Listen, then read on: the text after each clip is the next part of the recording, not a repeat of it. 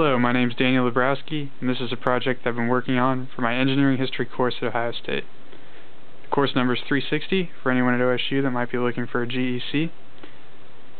I worked on this project along with Enoch NG, Laura Glibe, and Stephen Hara.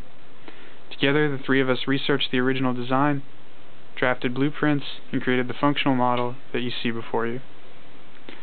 The original design is called Hero's Temple Door, was created by Hero of Alexandria, and it's a method by which an open flame can automatically open a temple door. Uh, this this is a functional model in the terms that it's uh, not created using the design methods that would be used in the period and actually was um, just created with things that were easily accessible to us, such as this can here. Uh, however, it is fully functional and works on the same principles that Hero's original temple door operated on. Uh, this door is connected to a wooden dowel, which goes directly through to the bottom here.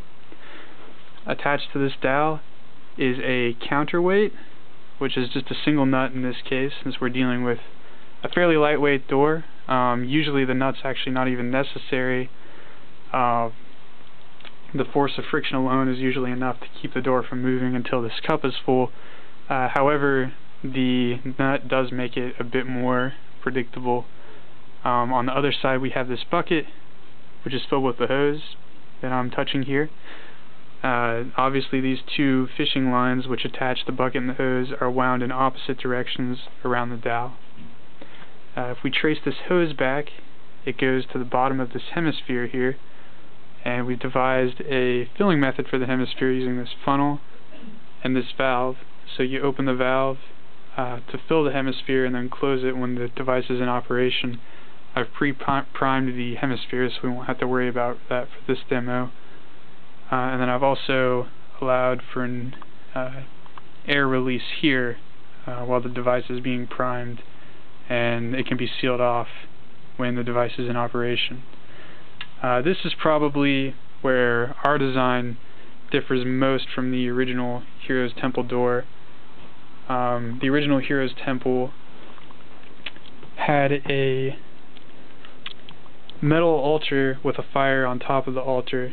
Um, the altar was sealed and air pressure uh, was built uh, built up in the altar and then vented out to a hemisphere similar to this one. Uh, this is just a Christmas ornament, by the way, which we've modified. But uh, first of all, we needed to use things that we were, you know, that were accessible to us. Uh, we originally tried to use some copper tubing, but that's actually not fairly easy to get your hands on, especially in large diameters. Um, plumbing suppliers don't have anything greater than a uh, one inch diameter, so this is much better for our purposes. Um, so this differs from the original Hero's Temple door in that the original design, the fire was above the altar, um, where the uh, where the gas would expand, whereas in this case we're going to hold this over our fire. Um, this is actually a much more efficient method, of course, because heat rises. I'm not sure why the original design had the fire on top of the altar. Um, I imagine it was probably just for aesthetics, but perhaps someone can shed some light on that in the comments section. Uh, also, this is probably made out of aluminum, whereas the original um, altar would have been made either out of copper or possibly even gold. Um, that actually would have been better uh, because it transfers heat better than aluminum. Um, however, as you're about to see, this works just fine for our purposes. Um, of course, they didn't have aluminum um, in ancient Greece because it has to be extracted from an ore. Um, it's fairly difficult to do even now. It takes a lot of energy. But uh, I'm going to go ahead and first of all hold this by the hose so I don't burn myself. I'm going to hold this can over the open flame and you should start to see water coming out of the hose. There you are. You can probably hear it filling the cup now. I'm going to go ahead and view the door and we should see it open momentarily.